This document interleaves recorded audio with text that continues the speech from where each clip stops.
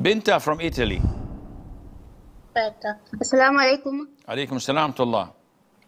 No, I wanted to ask, uh, like uh, the end of Fajr is it like uh, at uh, sunrise? Uh, because like uh, if I search on Google uh, the sunrise of my city, it's like uh, one hour or two after uh, the azan of Fajr.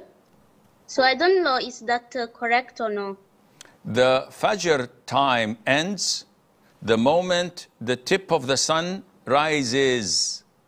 So if the sunrise timing in Google or on the website is referring to the beginning of the rising of the sun, then this is the end of the Fajr time, which is most likely is. So you have to finish your Fajr prayer at least five or 10 minutes before that time, and Allah knows best. And if you finish it before 20 minutes, that is safer for you.